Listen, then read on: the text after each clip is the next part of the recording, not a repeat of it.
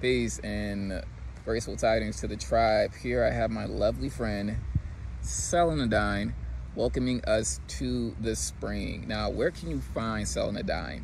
If you are near creeks or rivers, ponds, even low valleys, you're gonna find this Celandine. And this is actually considered the lesser Celandine.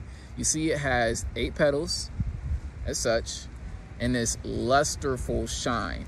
When you are harvesting celandine, you want to make sure you are far from main roads and you want to look for pollinators. Pollinators tell you that this is a healthy environment, that the nectar is kicking in, right? And That the plants are ready for harvest.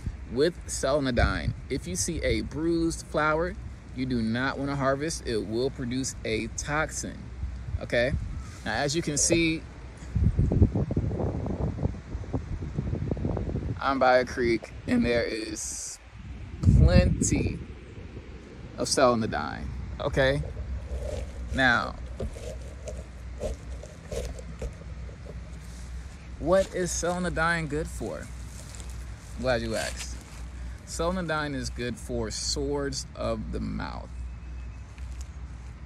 And those are any kind of sores. If they're external to the mouth, right?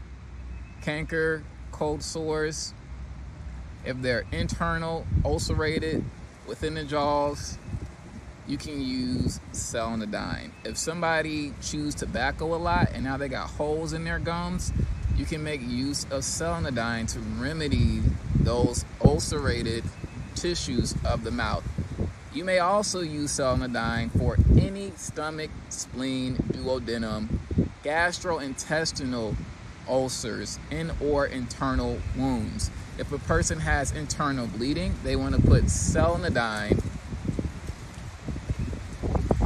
in that formula. Shout out to the wind for making his presence known. You want to put celandine in that formula, okay? Ulcers, piles, hemorrhoids within the GI tract. What is a hemorrhoid? Well, if you're straining to use the bathroom because you have so much shit in your GI tract, you're literally constipated, then you can form hemorrhoids. You're tightening your muscles so much that they actually form a knot within the GI tract.